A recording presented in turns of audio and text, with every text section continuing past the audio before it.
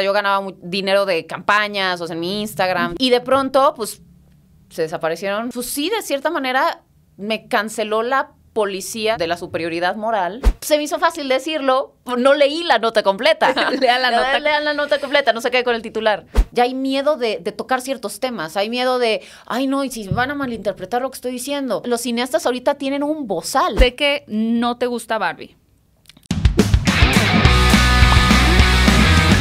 Adiós. Bienvenidos al podcast de Hablando de Cinecon. Estoy muy contenta de que me acompañen en este, uno de los últimos episodios del 2023 y por lo mismo un episodio sumamente especial. Especial. Muchas gracias por estar aquí. Les recuerdo que están escuchando este podcast en alguna plataforma de podcast, en Apple Podcasts, en Spotify, en Amazon Music. Pues también lo pueden escuchar y ver en el canal de YouTube de Hablando de Cinecon. Sería increíble que se suscriban también, dejen sus comentarios porque así continúan apoyándonos a financiar este bello podcast. Les recuerdo también que si quieren algún invitado en especial, pues ahí escriban por redes sociales. Y finalmente, pues agradecer al espacio de Reprogramando TV por las facilidades para grabar este podcast tan bonito. Y ahora sí, nuestra invitada de hoy es una mujer que ama el cine y a Pedro Almodóvar con locura, pero que también le gusta expresar diferentes facetas de lo que es ser mujer sin tapujos y sin miedo a ser irreverente. Pamela Cortés, mejor conocida por sus seguidores como la chica Almodóvar, es una periodista poblana que ha destacado por su trabajo en diferentes revistas y medios de comunicación. Ella forma parte del equipo de cabecera en TV Azteca que tiene la misión de cubrir los premios Oscar año con año, pero su talento la ha llevado también a participar en la película Guerra de Likes y a formar su propio podcast llamado La Cinemafia. Así que cinéfilos, hablemos de cine con la chica Almodóvar. Ay, Gaby, Pamela Cortés o la chica. Almodóvar. Qué ¿Cómo- bonita introducción, muchas gracias. ¿Cómo te gusta que te digan más? Qué honor estar aquí contigo. Eh, pues me dicen Pamela, Pam, Pame, me da igual, de cualquier manera. Hasta hay gente que me dice Chu, entonces. ¿Cómo? ¿Shu? Ah, Chu. bueno. Sí, por sabes. Pamela Chu. Sí, sí, claro. No, Este, ¿quién te dice así? ¡Qué feo! Así me decían mis compañeros en la universidad, yo me cagaba de risa, te lo juro. no. No, no, yo soy así, me, me gusta llevarme pesado con la, con la banda. Me encanta porque eres muy genuina. Eres una mujer sumamente genuina, como pocas he conocido, la verdad. Pues es que como que me vale, o llegué a un punto de, mi vida en el que ya es como, como que ya es, no sé, como, me, me gusta ser franca, me gusta ser transparente, lo más que puedo, ser como mi versión más auténtica posible. Digo, siempre estamos llenos de sesgos y llenos de eh, contradicciones y lo que quieras, pero me gusta ser la versión más fiel a, a lo que creo y a lo que a lo que considero correcto. Entonces, O sea, dirías que ahorita te sientes como tu versión más tú de. sí, definitivamente, definitivamente. Como que mm, no, no me había dejado ir con rienda suelta. Y, y ahorita que estábamos platicando antes de que empezara el podcast, te estaba comentando que, por decirte, yo cuando empecé la cinemafia, eh, realmente lo empecé desde un, un punto de, de cierta cancelación en el círculo donde me movía, porque, bueno, para quien no lo sepa, ya en casa, eh, hubo un escándalo que me rodeó durante varios años. ¿Varios Varios años me sigue rodeando hasta la fecha. Y entonces, eh, pues yo me moví en un círculo de eh, editorial. Yo fui la redactora de la revista Marie Claire durante muchos años. Y, o sea, sucedió todo esto. Y a mí, ese círculo, pues de cierta manera, pues sí me canceló. O sea, a mí me escribían cosas en redes sociales espantosas, me mentaban la madre, me decían de lo peor. Y, y el círculo en el que me movía, pues sí, de cierta manera, me canceló la policía de, los, de la superioridad moral. Ok. Y, y por decirte, cuando pasó todo esto, eh, se me fueron, haz de cuenta, yo ganaba dinero de campañas, o sea, en mi Instagram, ta, ta, ta. Y de pronto, pues, se desaparecieron todas las, las campañas, se esfumaron. eh, en medios de comunicación me vetaron. O sea, era como de, no, la primera campaña que hice fue una campaña de Jaime Ibiza, de la marca de bolsas, a quien le agradezco mucho que me haya dado la oportunidad de como regresar después del escándalo. Eh, y haz de cuenta que hicimos un shoot con varias personalidades del mundo de la moda, Ana Fusoni, eh, Janet Klein, o sea, como que gente, Ale Infante, modelos, así. Y yo era parte de ese grupo y era como, este shoot va a ser, va a salir en una revista de, ya sabes, de estas de sociales, ta, ta, ta, ta, ta. Y de pronto cuando estamos haciendo las fotos me dicen, ay, te vamos a tener que pedir una disculpa porque tú no puedes salir, estás vetada del medio. Y curiosamente, la directora de, la- de esa revista, yo había trabajado con ella en editorial, habíamos sido compañeras. Ajá. Ajá. Y entonces fue como de, bueno, pues ya al, al parecer ya no entro en ese círculo, lo que sea. Pero ¿sabes qué me dio eso? Libertad. Es que me hace muy fuerte. Eso me dio mucha libertad. Y dije, ah, bueno, pues si ya, si estoy empezando así, ya puedo decir lo que yo quiero. Y entonces fue cuando quise abrir mi podcast y dije, voy a decir lo que se me antoje y ya me vale reata todo. O sea, pero antes de eso sí estabas como más Totalmente. limitada Sí, en muchísimo. tu expresión, O como que en sí, todo. sí, como que siempre tienes miedo de decir una pendejada o algo que la cagues. Siempre te estás cuidando porque no quieres llegar a ese punto en el que la gente te, te eche hate, que te echen mierda, que te escriban cosas horribles. Y como ya había pasado por una situación en la que yo no había hecho básicamente nada, entonces dije, pues ya, ya, ya me pasó. Entonces, Pues eh, si era así como ahora qué es lo peor que me podría pasar. Exactamente. Ya, ya, ¿Qué me, lo- ya me está, ya me- me pasó. ¿qué me pueden decir cosas peores que las cosas que me decían? Entonces, Pero no fue un proceso muy difícil ese. más, no. o sea, sí, Azteca, sí. ahorita que estás en Azteca, digo, cubriste los premios Oscar este año. ¿Con Azteca ya estabas? O sea, Sí, yo con Azteca ya llevaba, empecé, mis primeros Oscars fueron los de Roma. años. ¿2018? Sí, Ajá. exactamente. Entonces, sí, ya llevaba, pero era lo único que hacía con ellos. O sea, yo hacía Oscars y ya. Ajá. Y entonces ahora ya me incorporé desde el año pasado en ADN Ujú. 40, que es parte de TV Azteca. Bueno, pero en, en Azteca seguiste teniendo una casa. O sea, ellos no te dieron la espalda, pues. Exacto, sí, sí, eh, y era lo que también te estaba comentando. O sea, Ricardo Salinas Pliego es una persona que apoya muchísimo la libertad de expresión, eh, o sea, está absolutamente en contra de la cultura de la cancelación. Entonces, y sí, no, la neta es que no me soltó la mano. O sea, fue como, eres un elemento que queremos tener aquí y tú sigues aquí. O sea, de hecho, sí, o sea, el escándalo pasó muy cercano a la entrega de los Oscars de 2020, me parece. Y, y fue como, o sea, acababa de pasar, estaba en llamas y le dije, oye, ve, voy a los Oscars, no, o sea, te afecta que yo esté. Y me dijo, si tú te sientes bien para hacerlo, vas. Ok. Y yo dije, voy. O sea, entonces sí, no, nunca dejé de hacerlo. Qué fuerte. Que ya no sé qué decir. Ah. Ya me- no, es que justo antes de que empezamos a hablar le preguntaba a Pamela como... eh, pues estábamos hablando de estos temas, ¿no? Como Sí, que sí, yo le decía, sí, es que me encanta que eres súper auténtica, súper directa, súper frontal. Y, y le, le preguntaba si a ella le afectaba como de pronto esto que haya pasado de lo de Oppenheimer, ¿no? Que aparte es tu película favorita del 2023. Sí, me encanta. Yo amo se, Oppenheimer. Se súper viralizó ese clip en donde tú decías que Nolan había... Y yo me acuerdo que... O sea, a ver, se viralizó el, el clip en donde tú decías que Nolan había eh, explotado una bomba atómica para la película. Entonces eso se viralizó mucho y yo te preguntaba si no te había afectado que la gente estuviera así como... No, ¿sabes qué? A mí me afecta cuando me malinterpretan lo que digo. Ahí sí me pongo a defender, porque es como de, a ver, si no, no me refería a eso, entonces sí me gusta intervenir y de pronto sí me pongo a comentar, o sea, como me- me gusta clarificar si me malentendieron. Si dijo una pendejada, dije una pendejada y se acabó. La neta es que todos decimos pendejadas de lo que te estaba diciendo. Nosotros tenemos un micrófono enfrente y pues obviamente nuestras pendejadas, si la cagaste, se viraliza. Y entonces pues es pendeja yo, la neta. O sea, es que te voy a decir una cosa, y, y- y pendeja e irresponsable además. O sea, porque fue, porque fue, o sea, eso es un mal, eso es ser negligente y, y aprendes mucho de ese tipo de pendejas y de errores. O sea, es como, porque yo leí el encabezado, Nolan no usó CGI en, en, la, en la explosión de Oppenheimer. Y entonces yo di, lo primero que yo lo que se me ocurrió fue, ah, seguramente hicieron un test, ya sabes como los test que- nucleares que hace Kim Jong-un y que hace Estados Unidos. O sea, y yo dije, seguramente se lo dejaron grabar. O sea, ese, ese fue como mi pensamiento. Ok. O sea, seguramente una prueba, pues como la prueba Trinity, seguramente le dejaron grabar algo de eso y por eso no usó CGI. Eso fue lo que yo pensé. Ajá. Y entonces se me hizo fácil decirlo, no leí la nota completa. Por eso te digo, ir- negligente e irresponsable. Eso se tiene que hacer, señores. para la próxima. Lean la nota. Lean la nota completa, no se quede con el titular.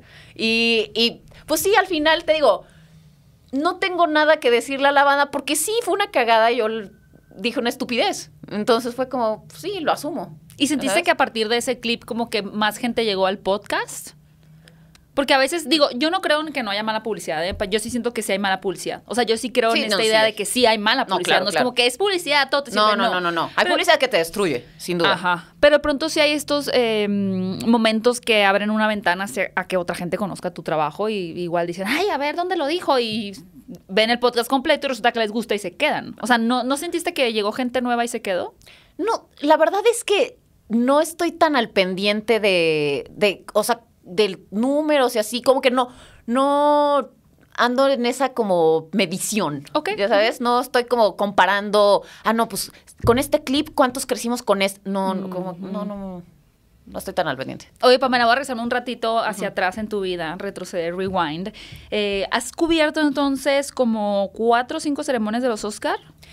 Eh, sí, Que fue esta última, además, fue también muy, eh, muy, muy, no polémica, pero fue como que muy conversada en redes sociales por el tema de Javier Ibarrechi, que decían que Ric- Claro, todo ese Ricardo, drama, ¿no? que, que estaban envidiosos. Y yo me acuerdo que yo dije, a ver, o sea, pues voy a ver. sí.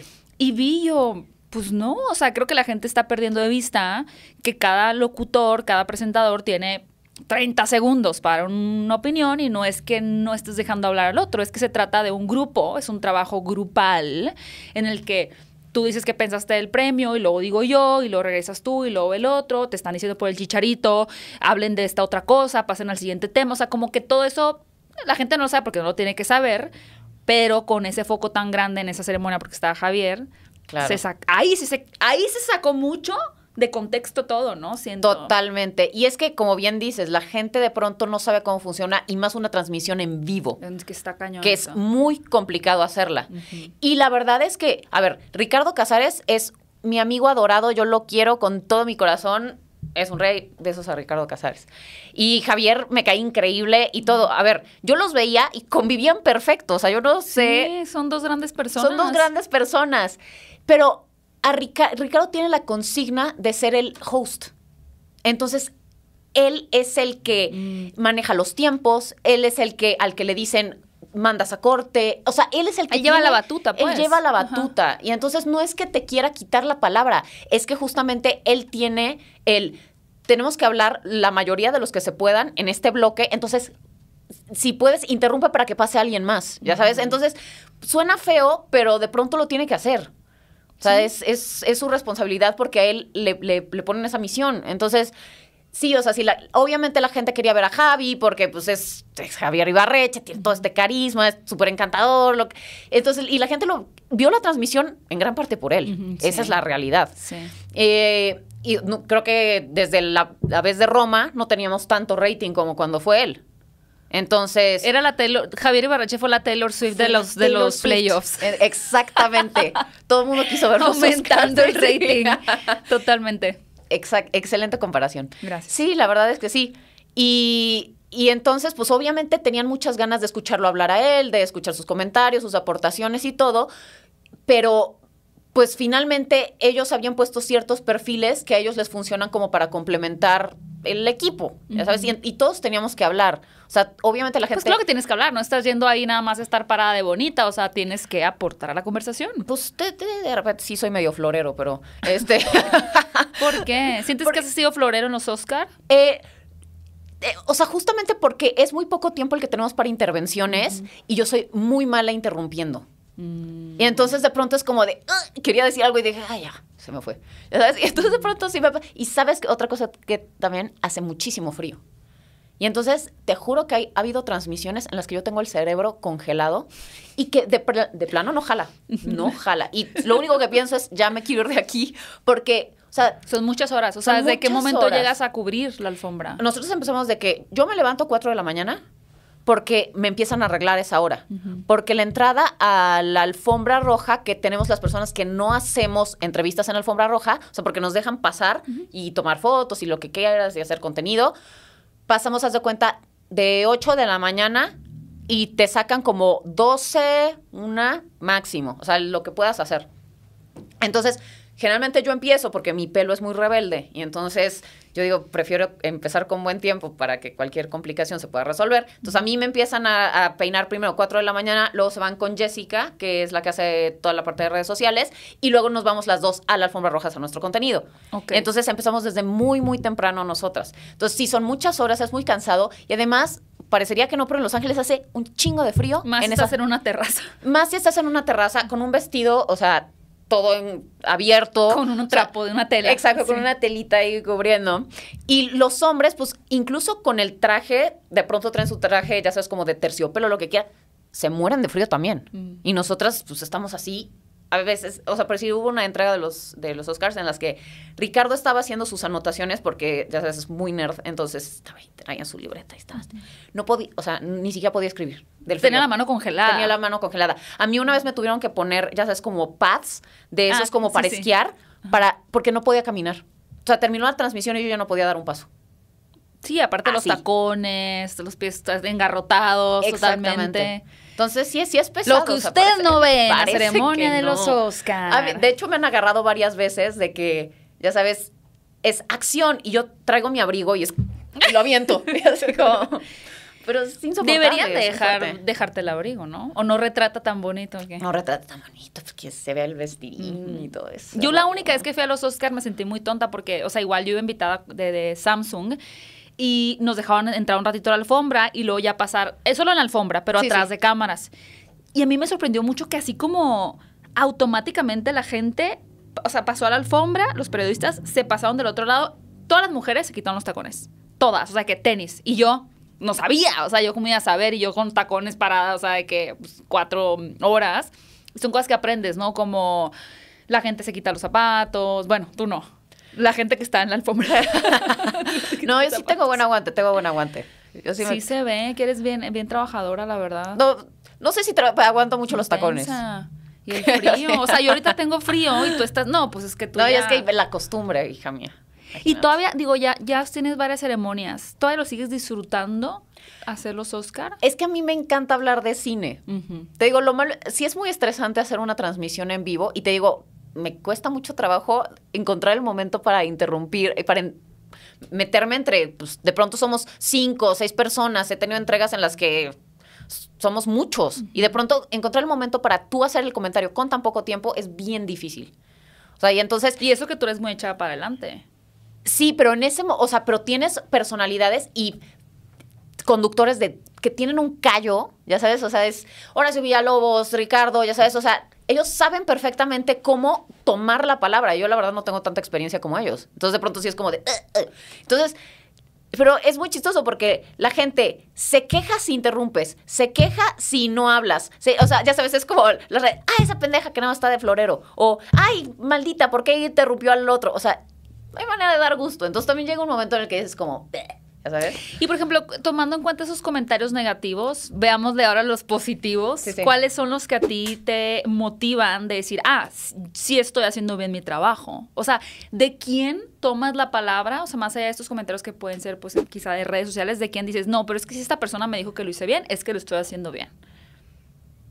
Pues es que a mí sobre todo que me sigan llamando al año Que que, te vuelvan a invitar. Que me vuelvan a invitar es como de, bueno, pues entonces algo les gustó. O sea, porque finalmente a mí me encanta hablar de cine. En- lo que más amo es ver cine, hablar de cine. Entonces, mientras yo pueda hacer lo que a mí me gusta, porque al, al final no te puedes creer ni la crítica buena ni la crítica mala, ¿ya De sabes? acuerdo. O sea, los que te dicen, ay, te amo y eres lo máximo, eres la mujer que siempre... soy-". O sea, que la gente es bien linda, la Sí. neta, pero ni me conocen. O sea, soy... Eres la primera persona que dice eso. Porque el otro día yo estaba pensando que solemos decir cuando nos dicen cosas negativas, solemos decir, ay, dicen estas cosas de mí, pero no me conocen, o sea, no saben cómo soy realmente. Pero cuando te dicen cosas bonitas, usualmente no decimos, ay, pero ni me conoces. Y tú eres la primera persona que tomando lo positivo y las flores dices, pero no me conoces. Porque la mayoría de las personas no hacemos eso, o sea, aceptamos los cumplidos Las- las flores. de redes sociales, pero ponemos esta justificación de no me conocen y por eso me critican. Pero si es un te amo, es la persona Ajá, que claro. siempre soñé, es como, sí, claro, sí soy. O sea, no, Sí. dices, no, porque no me conoces, quizá no soy. Sí, no, la verdad es Somos que... medio hipócritas. Pues, O sea, es, es un sesgo que es muy conveniente para tu autonarrativa, la neta. Pues nadie quiere sentirse una mierda en el mundo, pero la neta es que, pues sí, o sea, la- la- esa gente no me conoce. O sea, yo estoy eh, de- plagada de defectos. O sea, si me conocieran, probablemente dirían. "Che, estúpida o lo que quieras. o sea, Claro que no. Bueno, o lo, o lo que sea, ya sabes, podrían tener una opinión. Eres muy dura contigo también. No, pero podrían tener una opinión no tan, no, pues no, me bajarían de ese pedestal probablemente. O sea, porque ves a una figura en redes sociales y la tienes idealizada porque solo ves lo bueno. Pero pues tal vez si me ven, este, no sé, no he comido y estoy de malas y así, pues tal vez no voy a ser tan maravillosa. Entonces, por eso te digo, no. Tan espléndida. Tan espléndida. O sea, no, no me puedo creer ni el buen comentario porque es- esa gente, a pesar de que me sigue, pues no me conoce a fondo y a pesar de que yo intento ser bien transparente. Y la gente que me echa mierda tampoco me conoce. Entonces es, pues, mientras yo esté haciendo lo que a mí me gusta y, tenga la oportunidad de seguirlo haciendo y sienta que, mis comentarios y lo que digo son, son congruentes con cómo pienso, entonces, o sea, yo, no- yo no vengo a ser ejemplo para nadie, ni a, eh, ya sabes que quieran seguir mis pasos, ni, o sea, a mí no me gustan esas cosas. Yo soy como soy y quien le parezca que bueno y si no, sorry. O sea, cambien de canal, vean otro perfil, eh, sean felices. eh, no, no, o sea, no me... No, como que siento que el, el que tengas fans o haters es, yo lo veo como que está parte de, de- de mi camino y de lo que yo quiero hacer. Ok. ¿Qué es lo que tú quieres hacer? Hablar de cine. Donde sea, como sea, cuando como sea. y estar relacionada con la industria de cualquier manera. Si es actuando, la neta es que Oye, ¿cómo te fue con la actuación? O sea, entré a la actuación de la manera más, pues, fortuita del mundo. O sea, mi vecino era productor y me vio y fue como en de... el "Ay". elevador. Oye, No, eh, sí. ¿quieres estar en mi película? Tal, tal cual, ¿eh? O sea, en una fiesta eh, que, que hicimos fue como de, ay, voy a hacer una película, quedas muy bien para un papel, ¿te gustaría hacer el casting? Y yo, a huevo, sí. Mm, O sea, yo, claro. yo soy de esas personas que dicen sí a todo. Me, me echo como el borras a todo. Y fue como, sí, sí, a huevo. Fui a hacer el casting, quedé y hice la de Guerra Likes. Ujú. Y luego él me invitó a hacer otra con Nick Cassavetes que, o sea, empecé como de extra, pero luego tuvo una escena ahí como que más, con más Carnita. contenido, ajá, que besuquea a un actor por ahí.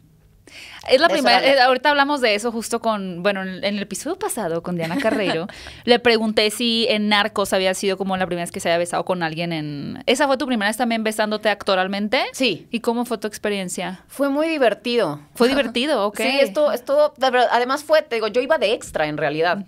Y entonces de pronto fue como, y además era una película de Nick Cassavetes, o sea, él dirigió The Notebook, ya sabes, escribió Blow, o sea, es, es alguien bastante, algo o sea, es- grande, sí. y es hijo de John Cassavetes además, o sea, bueno.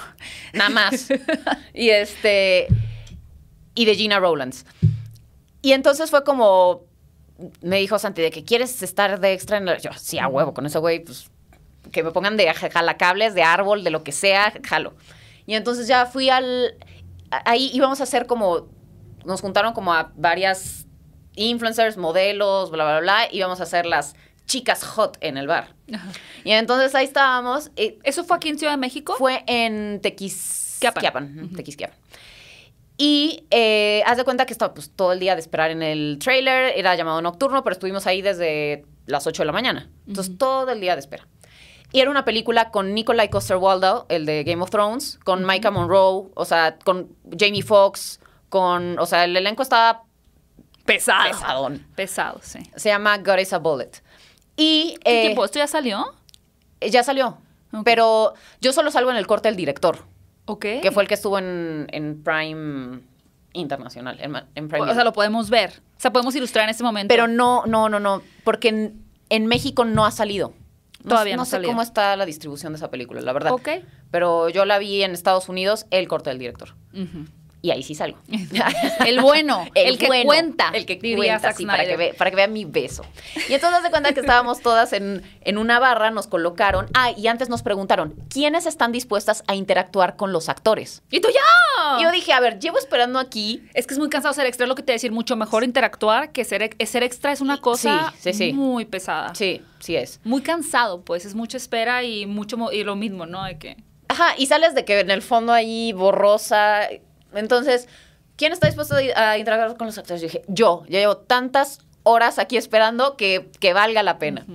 Sí. Dije, yo no tengo problema. Y dijeron, es que la escena trata de que llega el actor y es como el... ¿Qué ya actor sabes, era? eh, Jonathan Tucker. Ajá, que es- él sale en esta película con Brad Pitt, y- la de mm, Sleepers. Eh, los hijos de la calle o algo así se llama. Bueno, que también sale Billy Crudup así, cuando estaban chiquitos. Y él sale de chiquito y era uno de esos niños. O sea, también sale Robert De Niro, eh, Kevin Bacon. Ok. Eh, sí, de hecho, estaba, está cagado porque es como, ya estoy, ¿ves ese juego que es como 6 grados de separación de Kevin Bacon? sí. Entonces, yo ya estoy a un paso de Kevin Bacon y a un paso, dos de Robert De Niro, o sea, está divertido. Yo creo que por varios lados estás a un paso de toda esa gente, ¿eh? y entonces hace cuenta que estábamos, eh, nos colocaron en la barra y nos dijeron, este, esta escena, este güey va a ser como el pimp, ya sabes, del antro, y entonces Chance llega, Chance les da una nalgada, Chance les, este, el- no, No esperar, era un poco improvisado, Era bastante improvisado. Nos, nada más nos colocaron, llega el actor y empieza a hacer como su trazo escénico, ya sabes, a una le da una vuelta, a otra con otra se toma un shot, la chingada, y entonces llega conmigo y hace como que me va a dar un beso pero no me lo da. Entonces yo dije, ah, yo creo que van a truquear la toma Ajá. para que, o Se sea, vea como si para que besado. parezca, pero no es, no Ajá, ser. ajá. Yo, ah, está bien. Y o sea, nada más se te puso aquí. Ajá, exacto, se- como que se me puso aquí y nada más me hizo como así y, y se fue y ya sabes, siguió el trazo. Y yo, ah, ok. De pronto, acción. Y llega y tras. Y entonces, y yo nomás así, ya sabes, como de, bueno, pues dije, estoy actuando, pues le voy a seguir la corriente, claramente. Y entonces de pronto es como corte y todo el mundo se queda así y se me quedan viendo. Y además él me hace como, ¿todo bien? Y yo así como de, sí, todo bien. Bueno, tuvimos que repetir la escena como 10 veces. ¿Qué? Sí. Y entonces, pero estuvo, la verdad, yo la pasé muy bien, estuvo muy divertido. Eh, fue una Fuertes gran experiencia. fue una gran Y experiencia. además dices como, a ver, que Nick Cassavetes, director de The Notebook, me haya dirigido mi primer beso en una película de satánicos. Con ¿Es una película de satánicos? Es una película de satánicos. Con este elenco y esta gente, está, es una buena experiencia, es algo que está divertido. ¿Esto contar. cuándo pasó? Esto fue en 2021. O sea, no hace, hace nada. Sí. No, pues ya después Sí. de que tuviste esa experiencia, por eso te, ya, ya todo te da igual. Sí, No, ya ya, de te aquí digo para como- down- downhill. From here. Sí, te digo. También por eso de pronto soy súper irreverente y digo unas cosas. Y, y incluso yo juego mucho con, con el humor negro, políticamente incorrecto. O sea, de pronto, ya sabes, estábamos en el podcast del tío Robert, que ahora estoy saliendo ahí también con él, en Escupir. Por cierto, te mando muchos saludos, me dijo. Lo vamos a Eh, invitar, lo hemos invitado, lo vamos a reinvitar. Sí, reinvitar al tío. Y estábamos eh, hablando de, de Robert Pattinson, de Twilight, porque hicimos como un review de Twilight. Una retrospectiva. Una retrospectiva De la saga de, de- Twilight. No, solo la, la primera, la verdad no nos rifamos a ver todas. O sea, La primera es la "No, no, mejor. primera nada más. Ya después de Renesme es como... Yo la verdad es que solo he visto la primera en mi vida. Sí. Sí tienes que ver unas dos más. Sí, date la oportunidad. Y entonces estamos hablando de cómo Robert Pattinson, o sea, a las morras les- se les hacía bien normal, o no sé, que el tipo entraba a la habitación de Bella Swan y le estuviera La acosaba, sí. Ajá, exacto. Y entonces ya sabes de que yo, yo me eché en el, en el podcast del tío Robert el comentario de, es que si es, porque eso es un meme, lo vi en un meme. Dejen de informarse con memes, por cierto. Pero bueno. Nota de pie. nota de pie. Página.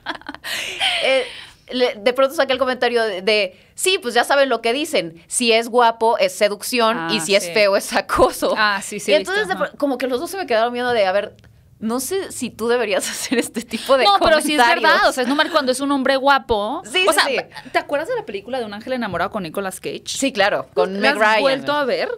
Es el tipo más acosador del mundo. Supone que es un ángel, entonces puede estar donde Sí, pueda. sí. Según yo, hay una escena también donde él la ve dormir. No me acuerdo, pero ya que vuelves a ver la película, o sea, yo recuerdo que la vida de niña era como, ay, Nicolas Cage es un ángel que está enamorado.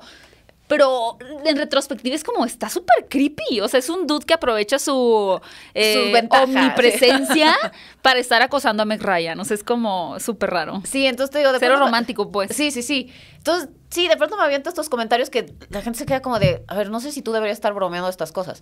Pero la neta es que, a ver, yo soy atea. Entonces yo siento que... ¿Siempre has sido atea? eh, no, no, no, crecí católica, pero y me emancipé por ahí de los 13. Bien chiquita. Y es que fui a una escuela como muy religiosa, muy recalcitrante. Entonces, de pronto cuando logras salir de eso, pues dices como, ay, qué alivio. Eh, y entonces, o sea, siento que para los ateos el humor es una herramienta bien poderosa para enfrentar la realidad y el absurdo de la vida. O sea, porque si para ti no hay nada, entonces, ¿cómo lidias con este sinsentido? Pues con humor, la neta. O sea, es lo que hay. O sea, entonces te ríes de todo ya. O sea, entonces, a, a mí me pasa mucho eso. De pronto es como de, bueno, pues, ¿qué tengo? ¿Qué herramientas tengo para sobrevivir las cosas horribles que pasan en el mundo? Me cago de risa de todo.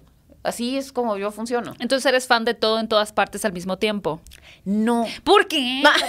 bueno, ah, gracias por haber escuchado este podcast. Nos Se acabó. escuchamos. ¿Por qué? ¿Qué es lo que no te Vetada gusta? también del podcast Pero si de te gusta Hablando. Tar. Eh, me encanta Tar. Ok, ok. Sí. Ya, No, es que no es que no me haya gust- gustado. O sea, se me hizo- Pensaría que sí por lo del sinsentido. Sí, pero. mm, pero es que si te fijas, eh, todo en todas partes al mismo tiempo la sentí un poco determinista. O sea, en el sentido de que decía, no importa qué caminos tomemos, siempre, o sea, la mamá y la hija tenía- estaban como predestinadas a estar, a tener una relación, igual, el- o sea, la familia, ya sabes. Y eso, y eso sí tiene. ¿Sientes? Yo siento que no.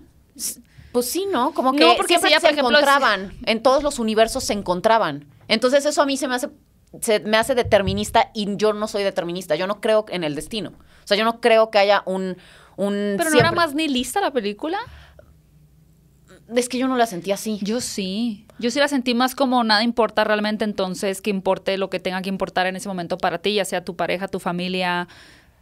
No, yo la sentí así. O sea, O sea- como que me quitó mucho peso encima ver esa película de sentir que podemos ser una piedra en el universo. O sea, pero es que sí tenía una lógica. O sea, la forma en que cómo se manejaban los Pues, pero el pro- multiverso. más pro, propo- más pro propósitos narrativos siento, ¿no? Ajá, o sea, sí, tal vez, tal vez, pero pues no deja de estar ahí esa, esa narrativa determinista de en todos los universos se repite que se reencuentran. Y yo no creo en eso. O sea, yo, yo no, yo no creo en el destino y en que es- esté escrito que siempre es- vas a tener una historia así porque pues es tú, ay. Ahí está el diablo, Este, este, es- moviendo exacto, tus energías. está el, poltergeist del... ¿Crees en las energías? No. Nada, nada. o sea, ¿no? creo en protones, neutrones, Ajá. electrones. O sea, en física. Energía en tema físico. Por O eso sea, amas soy- Oppenheimer, soy porque es muy práctica. Ajá, yo soy muy materialista. O sea, yo es como la realidad material, lo que pueda comprobar el método empírico, que obviamente la ciencia tiene sus limitaciones y no tenemos acceso a muchas cosas, pero yo prefiero la ciencia porque te dice, no sé, pero voy a seguir investigando para llegar a una respuesta, a salirte por la tangente con teorías raras y de ya sabes, y cuentos chinos. O sea, porque como no puedo llenar ese vacío, ah, bueno, pues me voy a inventar que un dios fue el que hizo toda esta cosa y estos mitos y estas...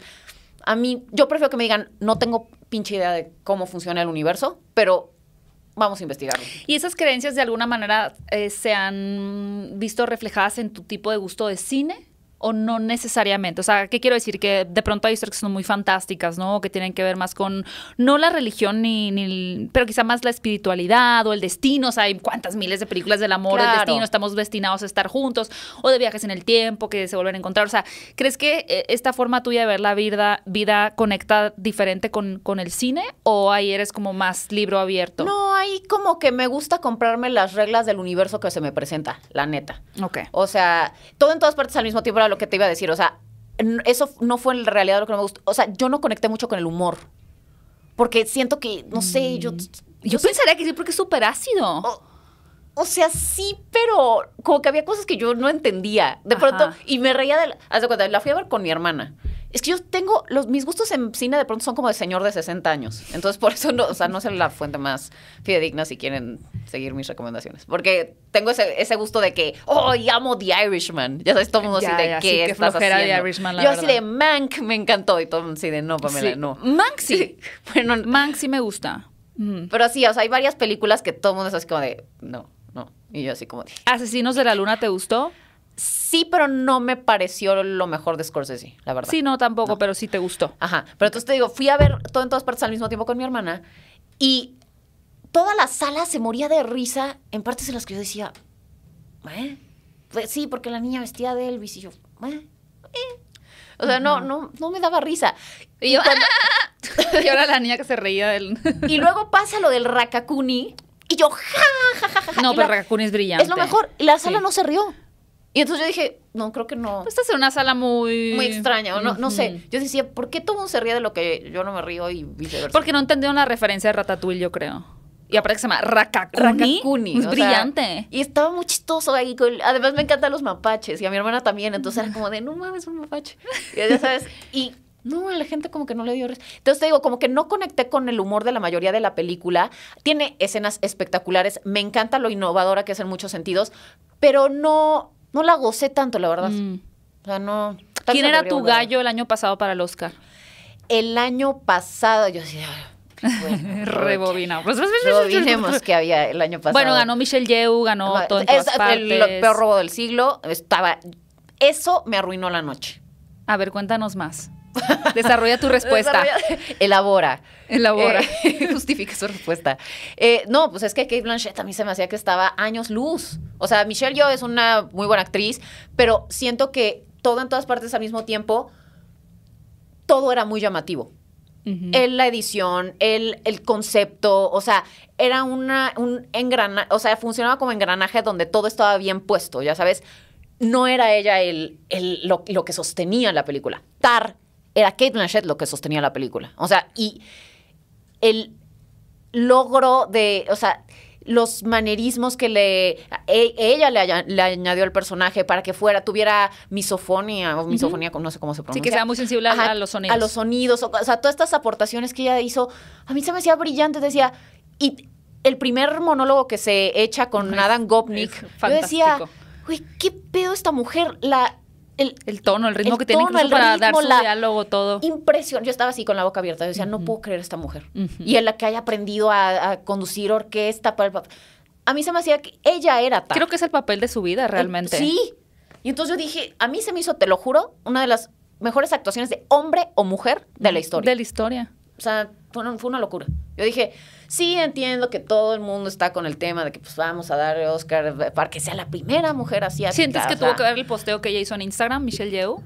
No, siento que tenía que ver que ella, o sea, que fue una campaña. O sea, es que finalmente tenemos que entender que los Oscars funcionan por campaña. Es tal cual, es política, es Aunque ya lobbying. cambiaron las reglas, ¿no? No más fiesta. Entre, No. o sea, pero van a ser ahora clandestinas como Ah, la película de. Babylon, que se van a ir abajo de los túneles. Se van a ir, justo. Se van a ir a los túneles se a hacer la fiesta. Se van a ir a los túneles de desmadre. Pero sí, al final, pues siempre hay maneras de convencer gente de que pues voten por tu peli, lo que quieras. Y- razones públicas. Y, y, y más que eso, la narrativa ahorita es lo que te quería preguntar. Sí, o sea, siento que ahorita el momento en el que estamos viviendo es mucho de... Y también por publicidad, la neta. O sea, que es muy de... Queremos que el titular sea la primera mujer asiática que se lleva un Oscar a Mejor Actriz. O sea, porque a ellos les sirve para vender... para vender la ceremonia, básicamente. No, no podemos olvidar que no deja de ser un show. O sea, y que vive de rating y que esas cosas les sirven. Entonces, o sea, yo sí siento que es uno de esos Oscars que se dio por ser políticamente correctos. Porque la neta no, o sea, no tenía nada que ver una actuación con otra. ¿Tú sientes que la corrección política ha afectado las narrativas en los últimos años? Muchísimo, muchísimo. O sea, Desarrolla. siento que la gente, o sea, Hoja en blanco. siento que los, los cineastas ahorita tienen un bozal. O sea, no, Perdón. no se les permite, o sea, tienen, hay un tipo de autocensura ya. Ya hay miedo de, de tocar ciertos temas, hay miedo de, ay no, y si van a malinterpretar lo que estoy diciendo. O sea, antes era... o ¿Viste sea, Bottoms en No, Prime Video? Tienes que ver esa película. ¿Sí? Siento que es tan... Sí, no tiene un bozal. O sea, es como, vamos a decir lo que queramos. O sea, y es como... Es un grupo de chicas lesbianas que, abren, que abren un club de la pelea. Ah, o sea, ya me unos habían comentado trancazos. de eso. Pero es, es, creo que es bastante políticamente incorrecta en muchas cosas que dice. O sea, y es, es, es muy... Bueno, no sé, ¿tú qué piensas, Beca? ¿La viste? Pero sí es como medio políticamente incorrecta, ¿no? Entre comillas. O sea, como que no se limita a decir cosas... Es que es muy ácida. Es súper ácida. Muy, Y es, ácida. y es que eso a mí me gusta y siento que, a ver, o sea, las cosas funcionan como en péndulo, ¿no? O sea, de pronto llega un momento en el que todo el mundo como que se restringe muchísimo porque tienen miedo de la cancelación. Y ahorita ya estamos como un poquito, ya, ya nos está cagando la cultura de la cancelación. Porque también a raíz de la cultura de la cancelación han, se han cuidado tanto que ya las historias no tienen nada de, de, de de cuestionador, de retador intelectualmente, porque nadie quiere ofender a nadie. Entonces se volvió el cine muy aburrido y las narrativas se volvieron eh, súper forzadas, o sea, todo es de inclusión, pero mal llevado, nada más para decir, ay, este, tenemos un cast diverso y con un guion malísimo, que al final de cuentas es lo que importa. O sea, a mí me puedes tener el- a toda la ONU de tu cast, uno de cada color, pero si tu guion apesta, sorry, no me importa, está malísima. Ya sabes. Claro. Y es lo que yo siempre digo, no usen las necesidades legítimas de las minorías para vender un guion malo, porque ahí es cuando caen gordos. O sea, porque si, tienes un guion sólido, te juro nadie se queja. O sea, si tienes un este, Spider-Man Into the Spider-Verse y tienes a Miles Morales y es eh, de, de as- de ascendencia la- afrolatina, lo que quieras, es un personajazo, está bien construido, está chingón, nadie se queja. Apenas también vi otra que era así. Ah, la de Wonka. Mm. Me encantó. Y los Es personajes. preciosa esa película. ¿eh? 10 de Hermosa. 10. A mí fue como la sorpresa. A mí también, yo era como. "Ay, Yo dije, ay, "Wonka, ay", ¿qué?", como, porque salí fascinada. Y dije, qué belleza de personajes. Preciosa. Es, sí, porque incluye, pero están bien escritos, redonditos, lindos, entrañables, los quieres. Dijo, así es como se tiene que hacer, señores. Porque cuando nada más es como, ay, pues, mete ahí hay alguien, este, pues, un asiático, una, para que estén, y no los construyes bien, entonces cagas, la verdad. Entonces sí siento que, que de pronto el cine se volvió muy así y ahorita estamos volviendo al, espérate, o sea, finalmente el arte está para confrontar y el arte está para hacer que nos preguntemos cosas, que debatamos, o sea, porque es un, es un muy buen foro para hacerlo. O sea, porque puedes usar la sátira, porque puedes usar herramientas que, que puedes poner en la mesa y que la gente va a decir, ok, si lo veo de esta manera, no lo había visto desde esa perspectiva, ya sabes. Entonces, por eso el cine es bien útil. Entonces, si, si, si pones un bozal y no dejas que la gente exprese, entonces, ¿cómo vamos a hablar de estos temas? O sea, es algo que, o sea, se tienen que discutir de alguna manera y el cine es un buen medio. Entonces, qué bueno que ya es- estamos diciendo, a ver, espérense. Queremos cosas más edgy, más, más audaces, más ácidas, que nos hagan cuestionarnos cosas. O sea, una serie como The Voice, que ya sabes que sea Es lo que te irreverente. iba a preguntar que si te- tenías algún ejemplo. Sí, sí, sí. O sea, como ese tipo de narrativas en las que cuestionas todo. O sea, que es una serie gringa que está cuestionando el American Way of Life, está cuestionando, cuestiona el intervencionismo gringo. O sea, muchos temas que toca que dices, bien, qué bueno que están haciendo eso. Porque finalmente eso sirve para que haya una conversación, ¿no? ¿Viste la película de Unicorn Wars? No, tampoco lo he ¿Tú sí la viste, Babeca? Es fuertísima. Es, una anima- es animación, pero es muy fuerte. Tienes que verla. ¿Pero también es nueva? Sí, tiene como... Son como unos ositos que parecieran muy tiernos, pero son como unos salvajes. Ah, eso me interesa. Mm. Vendida. Pero es como el inicio del catolicismo. Sí, es como todo un mito bíblico también. Está ¡Guau! súper interesante. Eh, tienes- Ay, y llama tiene que ver con un poquito como eh, Full Metal Jacket, o sea, como esta onda de la guerra. Oye, Pame, ¿cómo ves el cine mexicano últimamente también? Yo creo que este fue un gran año para el cine mexicano. O sea, tuvimos, bueno... Eh, Huesera, salió este Huesera perdió... No, ¿Huesera no es el año pasado? Ah, ¿Es de este, va? Sí, salió este año. Eh, bueno, temporada de huracanes, Huesera, Heroico, Radical, Señor Influencer, eh, Totem. Totem. No, pero sí, tú, sí. o sea, ¿qué tanto consumes cine mexicano? La verdad debería consumir más.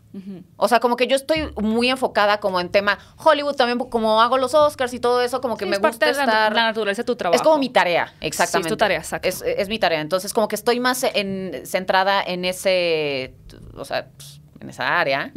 Pero, eh, pero sí, o sea, y algo que me gusta justo mucho del cine mexicano es que muy orgánicamente ha sido semillero de directoras, mujeres. Ya sabes, pero se dio orgánicamente. Ya sabes, es como chavas que les gustó hacer cine y se pusieron a hacer cine y son las mejores ahorita y qué chingón que está funcionando de esa manera. Estoy totalmente No, de acuerdo. Que no sea como de, "Nah, las vamos a poner porque queremos que las mujeres sean. O sea, no, o sea, salieron así, o sea, eh, a- Ale Márquez Abella, eh, Tatiana Hueso, Lila Lila Vilés, Vilés, ajá, sí. Michelle Garza Cervera. O sea, dices, qué bonito que se está dando de esta manera. ¿no? Entonces, eso, eso me encanta el cine mexicano. Y hay muchas cosas eh, recientes. A mí Huesera me fascinó. Totem se me hizo espectacular. Siento que México va muy bien representado este año en los Oscars. Yo creo que sí van a seleccionar. ¿eh? No sé si para cuando publiquemos este podcast ya, porque creo que es el 28 de diciembre cuando anuncian si queda Totem. Eh, To- no sé. ¿23? Creo que todavía. ¿Qué soy? ¿Qué- cuando anuncian como El 23 anuncian la Ajá, shortlist, está diciendo Beca, estoy ajá, traduciendo lo que ella nos está comentando, que son 10, y de ahí Y las en cinco. enero. Y en es- enero. No, Ah. febrero me parece. Fácil va a entrar a la shortlist, o sea, fácil. Trae una carreraza de festivales Totem. Sí, sí, sí. Es una película preciosa. además. Preciosa. Sí, justo tuve la oportunidad de entrevistar a Lila. Ay, y- la amo yo. Sí. Estuvo aquí la semana pasada. En Sí. esa silla en la que. En esa. es bien Pero- divertida, es chistosísima, Sí, sí, sí. Lila Viles. Sí, es, es muy linda y, y justo le, le pregunté, o sea, acerca de la superstición, de, de cómo de pronto recurres a esta, o sea, como última esperanza a un montón de Por la señora que hace la limpia en la Ajá, casa. exactamente. Es, tan Sí, sí, sí. chistosa esa escena. Y es muy idiosincrático de México, la verdad. Entonces, por eso también se me hizo como... Yo no Bien. creía en las energías así como fantasmagóricas hasta que fui al Queen Mary, al barco. Y siento que sí me traje algo. Pasaban ¿Cómo? cosas. ¿En serio? O sea, me fui al barco que eh, supuestamente está súper embrujado, de los lugares más embrujados de Estados Unidos. Y cuando llegué aquí, tuve un dolor de cabeza como tres días sin parar, una migraña, que no tenía años sin tener migraña. Pero Y las, las mi cámara se prendía sola. O sea, como ¿cómo que una que se energía. sorprendía? Se prendió la cámara sola. Ah, la cámara. Mi cámara, ajá. La tele se prendía yo, sola. se prendió en fuego. No se prendió ayer que fue el sismo, pero eh, me incendiaron. No, sí pasan cosas. Prendí un copal, Ajá. es una esta piedra, y, y se fue. O sea, entonces como que ahora sí creo en esas cosas de energías raras. Y, y no habrá sido por si te la migraña. Es que, ¿cómo fue Sí, tu, viaje? O sea, eh, No, el barco, el Ah, barco está estacionado. Está, sí. El barco está, ¿cómo Yo se dije, dice? por- Eh, anclado. anclado. Sí, sí, sí. Estacionado. Sí, estacionado yo. Oye, Pame, antes de que se nos vaya a acabar el tiempo porque está pasando esto volando, sé que no te gusta Barbie. No y me gustó mucho tu argumento de por... da- Yo amo Barbie. eh, Sí, sí, sí. Creo que... A mí sí me gusta más que Oppenheimer porque creo que, que es una película... O sea, creo, creo que Oppenheimer es como dice los engranajes, no están donde, donde tiene que estar. Creo que... eh, representa una parte histórica a la perfección, pero creo que Barbie es más atrevida. O sea, a mi parecer Barbie utiliza un formato en apariencia muy sencillo para contar cosas más complejas. Pero yo creo que tú me digas más bien por qué no te gusta. Ya lo dijiste en el podcast de Paloma y Nacho, Sí, pero sí, también sí. creo que para mi audiencia hablando de Cinecon quede registrado porque que, que es súper válido, ¿no? Para que la gente que tampoco le gusta diga, ah, justo yo pienso como ella. Sí, es que yo, sí, yo tuve varios problemas con Barbie. A ver, de entrada fue una película que infló mucho las expectativas. ¿La esperabas, Barbie? ¿O Se nunca fue de tus más... A ver, yo nunca jugué con Barbies. Yo era la niña. yo solo tenía Chucky. yo era la niña de la Barbie feíta. Ya sabes, de la Barbie rarita o como Sí, se llama le esa, el pelo, es weird yo, Barbie. Yo era esa niña. Ok. O sea, yo era la que. Yo tenía tres Barbies. Mi hermana tenía una colección. Polly enorme. Pockets. Poli- sí, me gustaban más. Yo era más como de dibujar y de hacer otras cosas. Ok, ya sabes, como que nunca. Art Attack. Yo era Art Attack. Tú Art Attack. Yo Art Attack, me encantaba. Muy libra, sí. Sí. Como que más artística y así. Hacer videos musicales y cosas así. Ya. Eh, y las Barbies nunca me gustaban. Mi hermana tenía muchas Barbies, muchas muñecas. Y tú una las rapabas. Impecable. Y yo, las que llegaban a mis manos, era como les cortaba el pelo, les arrancaba la cabeza, los brazos. Como que era como me jug- gustaba jugar al doctor. Entonces, o sea, ya sabes de que, "Ay, ¿qué pasa si hago esto? Ya sabes. Ver la anatomía de... Sí. Descubriendo anatomía de, de la Barbie. Ajá, yo, yo era esa niña. ok. Y entonces, la verdad es que yo jugaba para acompañar a mi hermana cuando me lo pedía, Ujú. Pero a mí Para darle réplica. para- ajá, pero a mí no me gustaba el juego, la verdad. Y entonces Barbie nunca me llamó mucho la atención, honestamente, pero me interesaba el concepto de cómo iban a llevar un personaje que ha sido tan polémico. Mm. O sea, cómo le iban a, cómo se iban a limpiar la cara. O sea, después de que ha sido acusado de mantener que estándares de belleza, todo ese rollo. Entonces dije, me interesa ver cómo lo van a hacer. Y además, tenía entendido que iba a tener como referencias del Mago de Oz. Eh, y entonces dije, ok, me Odisea gusta. en el me espacio. Y vi el trailer y dije como, "Mm, ok. Y Greta Gerwig, la verdad es que a mí me fascina Lady Bird. Su ver- versión de, mu- de Mujercita se me hace la peor que he visto. Ah, gracias. Horrible. O sea, ¿cómo es posible que en el segundo acto ya te dijeron que Beth se muere? Es como de... O sea, todo... A mí no me gusta nada. Todo construye para eso. Y... Quise verla en el avión una vez más y dije, no la puedo soportar. No, yo tampoco la No soporto. la soporto. No soporto. Pero me encanta Frances Ha, pero ya ahí es actriz. Es Sí, exa- que el Es director. nueva, ajá, el que... Ajá, sí. Como actriz me gusta mucho también. Incluso en White Noise, Ajá. me gusta su papel. O sea, ella es muy buena actriz, Con de Adam verdad. Driver, ¿no? Ajá. Sí. Y este... Entonces... me- pero me gusta mucho Lady Bird. Entonces, por eso le, te- le tenía ese respeto. Entonces, fue como de, a ver, vamos a ver. Y, pues, Noah Baumbach también estaba involucrado en el guion. Entonces, fue como... Ok. Y entonces de pronto empecé a escuchar todos estos comentarios de, no, es que es una, te va a revolucionar el pensamiento, la, ya sabes cómo, dije como, wow, wow, ok, entonces esto que voy a salir de aquí pensando las grandes preguntas de la humanidad. Y cuando llegué a la sala de cine fue como de, ay, no, o sea, empezó muy bien. Y estéticamente me parece una pasada. La cinematografía de Rodrigo Prieto está espectacular. El diseño de producción está increíble. Eh, todo, te digo, toda esa atención al detalle de que es- en el refri está pegado el sticker como si fueran los, los productos y el cepillote que en realidad no cepilla. Y, el- o sea, todo eso. Y el agua que no cae. O sea, lo pensaron muy bien ese- esos detalles. Se me hizo bien ahí. Eh, pero el- se me hace que es un pastiche de agenda. O sea, que fue como de, ¿qué queremos en esta película? Eh, lanzar todas estas ideas de feminismo. Mm, ¿En qué orden? Pues vale un poco madres, nada más lancémoslas todas. Y entonces fue como, ta, ta, ta, como atacar con, con su discurso, de, con lo que querían decir. Y siento que descuidaron muchísimo la narrativa. O sea, yo sí siento que es una película llena de agujeros argumentales. O sea, es una película que te plantea un villano. Para empezar, eso fue una de las cosas que me molestó mucho. O sea, como que siento que de pronto te están diciendo. Porque entiendo que en el mundo de Barbie los Kens, o sea, sean pendejones, ¿no? Pero ¿cómo me hubiera gustado que en el mundo real los hombres sí fuera, o sea, que fuera un villano en serio, que fuera un villano cabrón y que sea como de la Barbie se tiene que enfrentar a un villano cabrón y ganarle, o sea, y superarlo, o sea, por- porque si no es como de, pues sí, las Barbies ganan porque pues en realidad tanto en el mundo de Barbie como en el mundo real los hombres son unos pendejos. Entonces es como las mujeres un gran punto, las sí. mujeres pueden derrotar villanos pendejos. ¿Ya sabes? Entonces se me hizo como condescendiente. Y también eh, eh, la- lo que te decía en el otro podcast, la, la parte a mí del discurso de América Ferrera, yo decía, ¿por qué no lo hicieron al revés? O sea, ¿por qué no? O sea, se supone que eh, les para quitarlas de este encantamiento que tienen y que están todas idiotizadas con y ahora son sumisas y demás con los Kens, entonces les tienen que decir todas las cosas que son horribles en el mundo para las mujeres y los estándares imposibles de belleza y todas estas quejas del- de cómo funciona el mundo, que para empezar en el mundo de Barbie no funciona así, pero bueno, no sé, porque les están compartiendo cómo funciona en el mundo real. Eh, y les están diciendo, no, que les estándares de belleza y que tenemos que ser esto y eh, tienes que ser así, pero no puedes ser de asado y lo que quieras para que ellas recuerden quiénes son y por qué valen. O sea, eso debió haber sido al revés. Deberían decirles, tú eres premio Nobel, tú eres, hiciste esto y esto, escribiste este libro, eres presidenta, la chingada, para que les valga verga los estándares que les impone la sociedad. O sea, porque que, no te importe lo que... el- si tienes que cumplir con esas cosas, ya no estamos en esa época. O sea, ya ahorita siento que, que podemos dejarnos ser más. O sea, y, y lo que importa justamente es tu camino, tu misión, tus pasiones, tus prioridades, tu, o sea, eso es lo que te constituye, no la, la visión que tenga la sociedad de ti. Entonces, o sea, yo decía como, qué confundido está este discurso. También, o sea, errores como, o, pues no errores, pero como que no sabían dónde estaban parados, siento, en algunas partes, o contradicciones. Cuando la Barbie está, está llorando, ¿no? Y está así triste y dice, eh, ay, es que están diciendo que soy una fascista, pero yo no controlo las, el flujo de comercio ni las, eh, ¿cómo dice? Bueno, algo así, ¿no?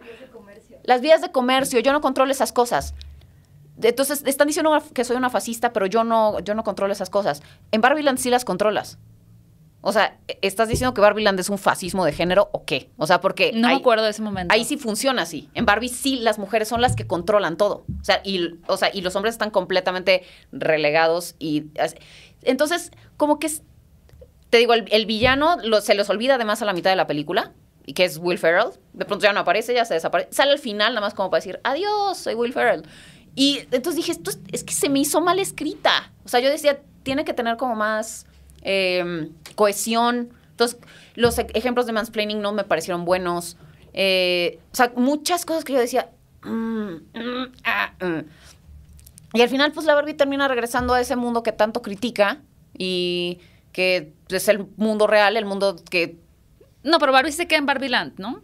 No, pues sí, sí, hasta va al ginecólogo. Ah, sí es cierto. Y entonces, pues hasta el final tienes tu utopía feminista perfecta. Bueno, pero por ejemplo, te digo una nota de lo del ginecólogo. Me acuerdo que vi un tuit que decía como, ay, bueno, se quejaban de Barbie, pero decía como que, y además al final, eh, pues matan todo el discurso porque Barbie está embarazada, porque fue al ginecólogo. O sea, en la mente de la gente, ¿eh? No, una ¿cómo? mujer va al ginecólogo solo Ah, porque está embarazada. Eso es muy fuerte. sí, sí está fuerte. Sí está fuerte la ignorancia, banda. Me hizo fuertísimo eso, Ay, no sabía. de No, que no, Barbie no. estaba embarazada.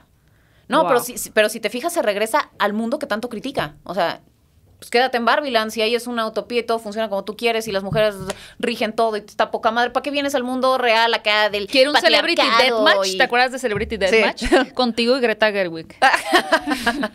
No, era o sea, brillante. Era brillante Celebrity Deathmatch. Eh. Era lo más políticamente incorrecto. Bueno, pero quienes sí todavía se permiten ser son, por ejemplo, South Park. Sí, sí, sí. O sea, son estos. Pero Celebrity Deathmatch. Era increíble. O sea, Cristina Aguilera contra Britney Spears. y se agarraban del No, chongo. se y mataban. ¿qué, qué tal ese, este, el- en el que salían los Beastie Boys contra los Backstreet Boys? Sí, sí, y que sí, estaban en unos como pinches robots gigantes. El de Marilyn Manson. No, era, sí, era una genialidad, la Esas verdad. cosas nos, cre- nos, Es co- crecimos con, eso. con eso. Es que crecimos, e- esta generación creció con cosas súper violentas, súper políticamente incorrectas y pues, pues, no estamos tan mal. ah. un poquito así. Sí. Oye, Pama, ya se nos pasó el tiempo muy rápido. Pero todavía no sabes entonces si estarás en la ceremonia 2024. ¿En los Oscars? No, todavía no Todavía tengo no esa información. Pero nada más para cerrar. de- Sí. de- de- bueno, no, de- con Sí, lo de Barbie. favor, nada más con- favor, para cerrar sí. con lo de Barbie. O sea, yo lo único que, que digo es, o sea, se vale diferir. Siempre. O sea, se vale que a ti te encante Barbie, qué chingón. Pero también se vale que a mí no me guste. Sí, y claro. lo malo es que se volvió un tema de.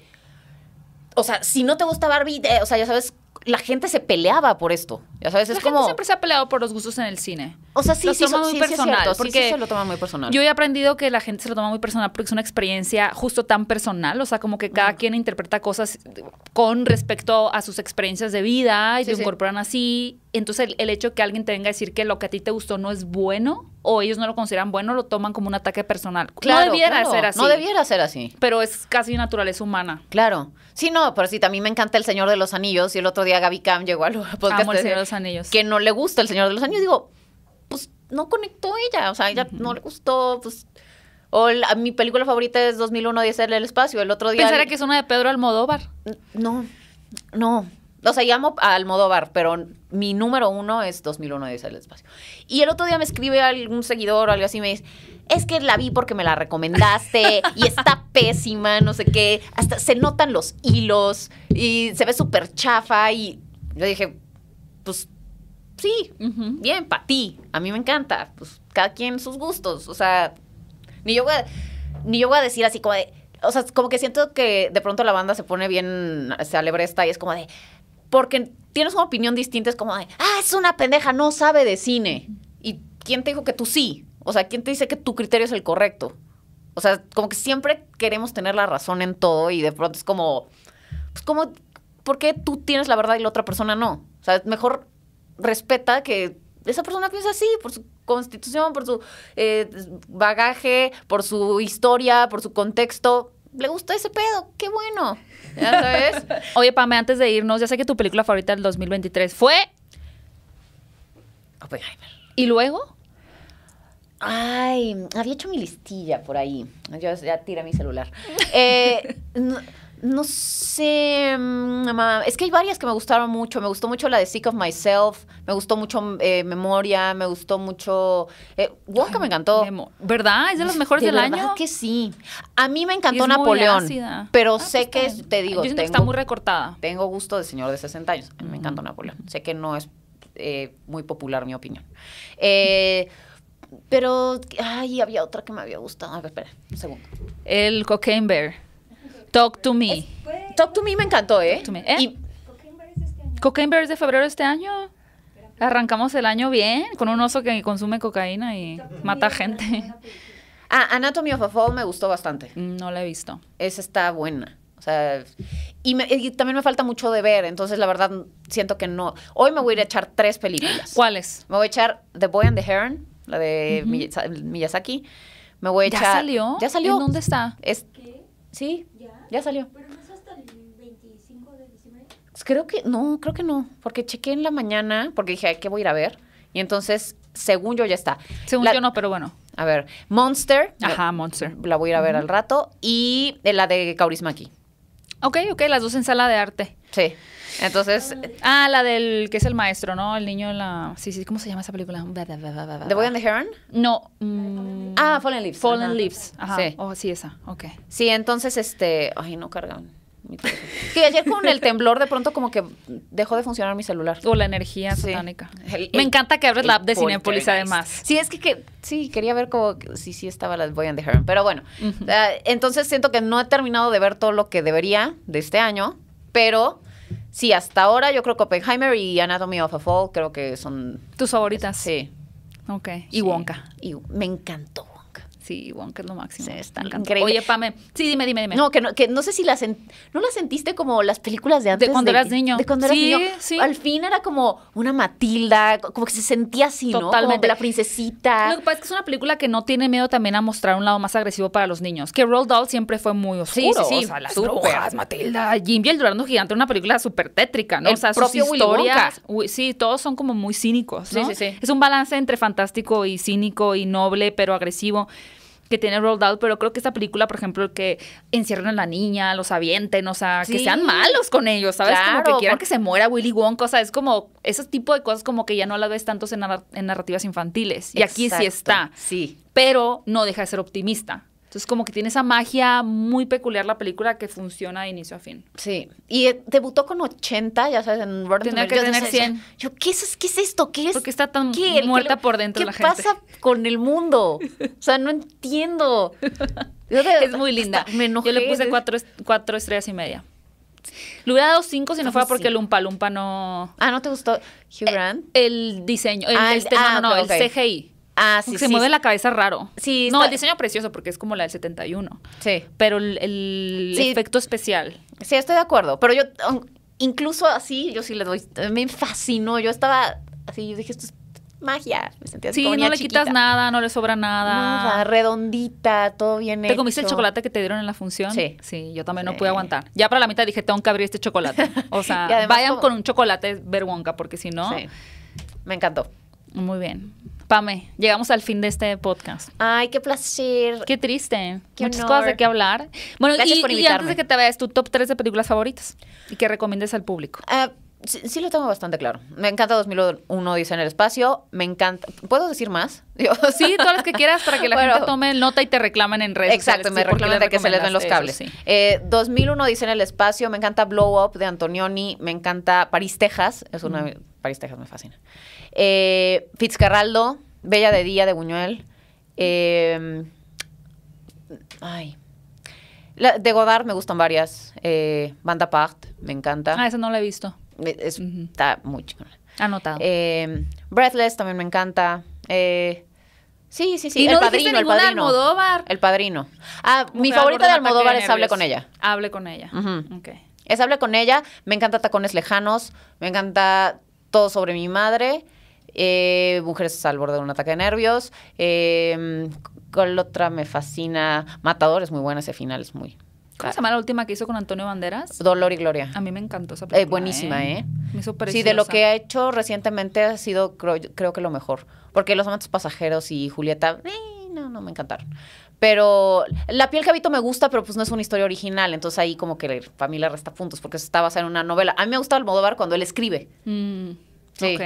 Mucha tarea tienen amigos. Pame, ¿cómo te pueden seguir en tus redes sociales para que vean? Porque tú estás publicando además cada semana tus opiniones de las películas, recomendaciones y pues invitarlos a tu podcast, cualquier proyecto que tengas para que lo vayan a ver Sí. escuchar. Eh, estoy en Instagram como arroba la chica Almodóvar. Eh, está mi canal de YouTube que se llama La Cinemafia. Eh, estoy en ADN 40 de lunes a viernes, eh, de 10 a 12. Si pero lo ven también, díganle que sí lo ven. Exacto. De- Vengo, vengo de verte en ADN 40. Sí. El programa se llama ADN conmigo y eh, ahora estoy saliendo con el tío Robert de pronto en Escupir en el Tiempo. Escupir Y- en el tiempo. Sí.